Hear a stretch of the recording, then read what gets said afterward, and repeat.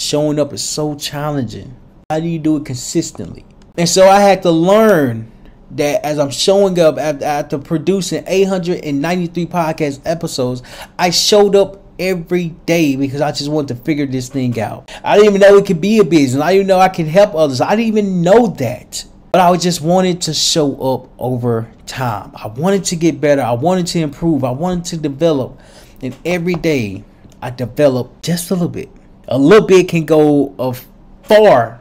A little bit can turn into a lot. A little bit matters the most. I remember we was in California when I was younger. Even though I was raised by a single mom, uh, I I know my dad like I, but my dad wasn't a part of my life like that.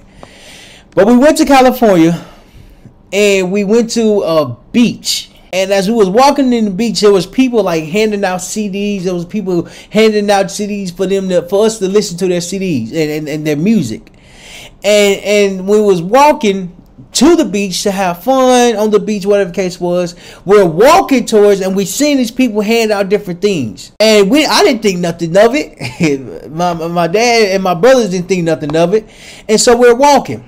So we have fun. I end up getting stung by stingray. And so as we're leaving back, as we're leaving, the guy comes to me and say, Hey, do you mind buying my CD?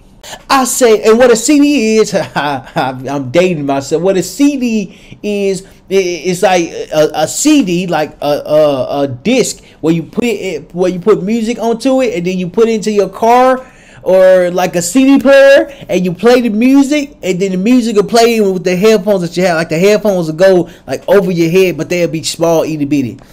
And so the the guy sold me his CD I bought it for like maybe I think he said twenty dollars and some change. I bought his CD, and at the time I wasn't driving. I was too young to drive.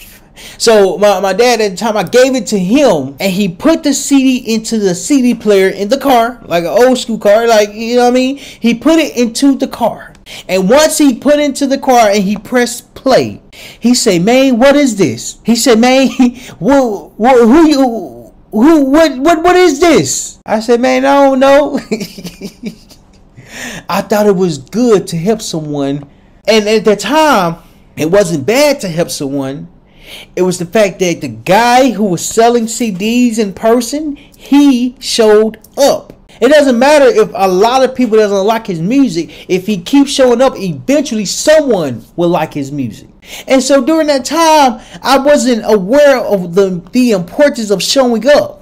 But when he showed up, he he said, "Man, you want to support me? You want to buy my CD?" I bought his CD to support him because he said, "Do you want to support?" He showed up, and once he showed up, he got the results. As I got older over time, I started to show up for myself. And when I showed up, my results looked differently than the person that was selling CDs.